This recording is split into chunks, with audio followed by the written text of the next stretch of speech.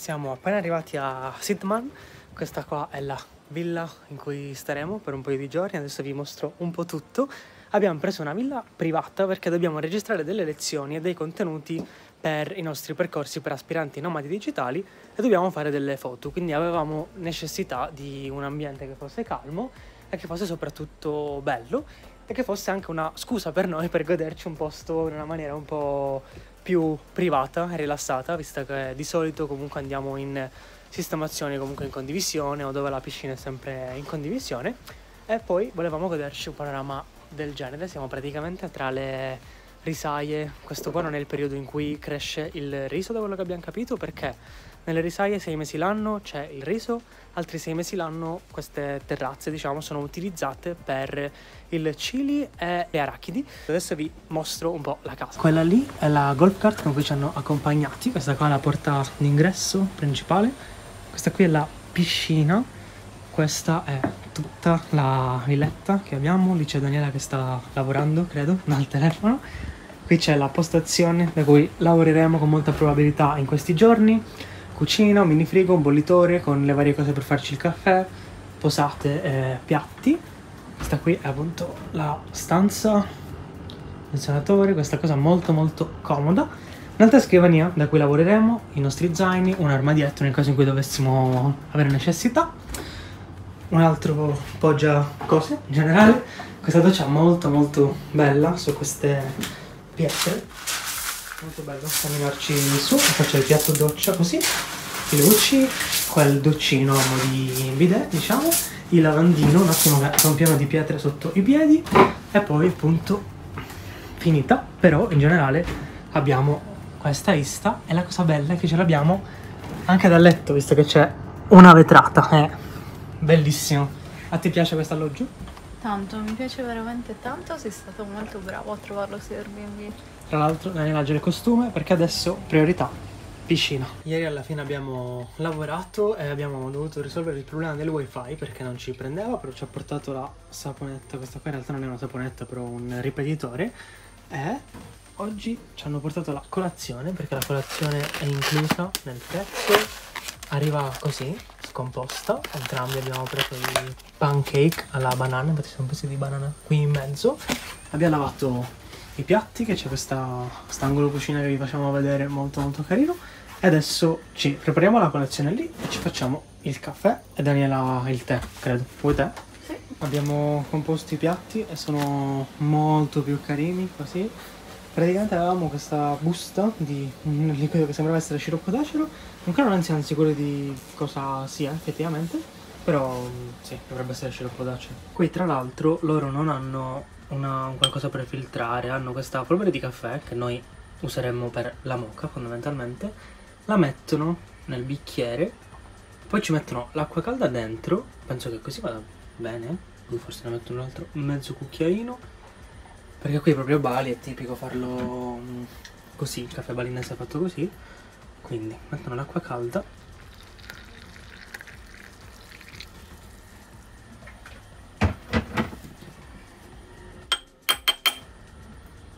E lo mescolano così poi lo lasciano riposare affinché la polvere del caffè stia in fondo. Sì lo so che naturalmente il caffè a cui siamo abituati non è così però appunto non siamo in Italia a fare il caffè come siamo abituati è un po' diverso però in realtà non è male anche perché appunto è il caffè tipico di qua magari non si fa come l'ho fatto io attualmente ma in generale quello è il modo in cui si fa e siamo qui appunto a vivere la cultura anche sulla base di, dei modi appunto con cui vivono i locals. Stiamo chiacchierando abbiamo visto questo geco che è saltato da una parte all'altra, è entrato nel nostro cestino e si è preso un fazzolettino. Cioè, non so se si riesca a vedere da qui. Lui ha afferrato con la bocca il fazzolettino da dentro il cestino che comunque è, è profondo Adesso sta provando ad andarsene, non so che cosa abbia visto in quel fazzolettino di così entusiasmante. In questa villa, oltre che il ristorante, c'è anche la spa e i massaggi costano pochissimo, tipo 17 euro per un'ora. Io ho scelto di fare l'aromatherapy, infatti ora andrò per 60 minuti e mi rilasserò con questo massaggio. Questa vista è spettacolare. Allora mi ha dato questo da mettere questi sono i lettini, questo è quello che utilizzerò per farmi il massaggio. Sono molto molto felice mentre Daniela è a farsi il massaggio che se lo è meritato perché appunto siamo sempre in full focus su tutto, cerchiamo di goderci i posti in cui siamo ma difficilmente ci concediamo tutto questo relax. Io sto lavorando alle lezioni per i nostri studenti dei percorsi per diventare nomadi digitali Stamattina pioveva, ora il tempo è un po' migliorato, non è soleggiato come abbiamo visto, non so se sia un caso questo periodo, però in generale anche ad Ubud, quindi andando sempre più verso il centro o al nord, sembra che qui sia più non dico uggioso perché non è così pesante il, il clima, però in generale sì, non è soleggiato come a Kuta oppure a, a Nusa per esempio però comunque c'è caldo, quindi io appena finisco vado direttamente in piscina perché appunto farò una pausa, finisco questo task principale, faccio un eh, tuffo e poi mi rimetto a lavorare a dei video su, su Bali che usciranno appunto sul canale YouTube. Oddio, c'è questa rana qui, mi ha fatto spaventare che sembrava una foglia salterina, sembra che mi stia fissando, non capisco. Poi non capisco perché abbia questo colore molto molto giallo dal nulla c'è. Quella rana lì che non sapevo arrampicassero, infatti mi sta mettendo un po' d'ansia anche perché ora sembra verde, ma là fuori sembrava un colore diverso, da là sembrava gialla il sole, là sembra verde, si sta arrampicando in un modo strano.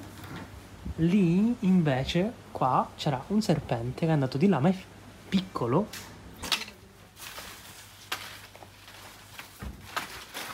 sono arrivati ragazzi a guardare il serpente ma c'è quella rana anche che continua a saltellare. Tra le pareti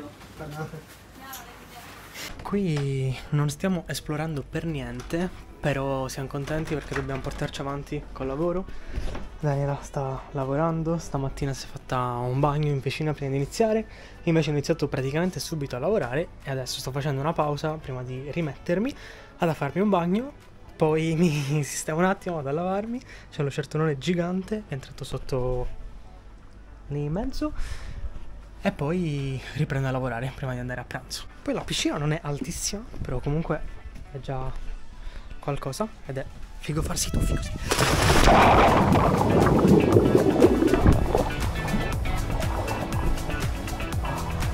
Però è abbastanza bassa.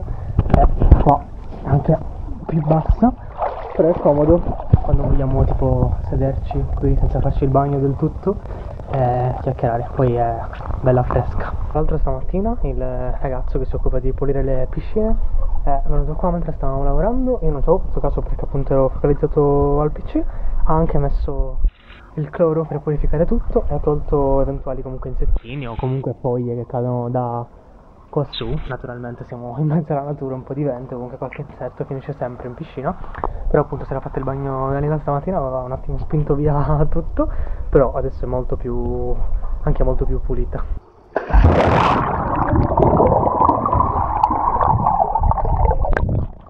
Diciamo che anche il bello di avere la piscina in casa è che se anche non stiamo esplorando riusciamo a staccare senza, tra virgolette, perdere, che poi non è mai il tempo perso, troppo troppo tempo a cercare cose da fare, affittare uno scooter, andare in giro e comunque voler stare almeno una giornata fuori, visto che ormai abbiamo affittato lo scooter, però possiamo staccare una mezz'oretta e portarci avanti con eh, il lavoro. Diciamo che noi comunque cerchiamo di bilanciare molto momenti in cui lavoriamo di più, momenti in cui esploriamo di più e questi giorni sono giorni un po' full focus di fuoco dove siamo abbastanza pieni di cose che vogliamo portare avanti e quindi ci siamo concessi questa villetta, questa tranquillità proprio per avere più energia, avere più modo di staccare senza dover per forza uscire, organizzare qualcosa.